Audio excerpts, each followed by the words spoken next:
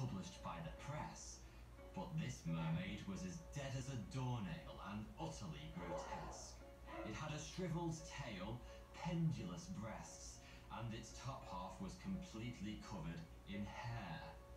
It was around three feet long, and its mouth was held wide open, as though it had died in pain. In a nutshell,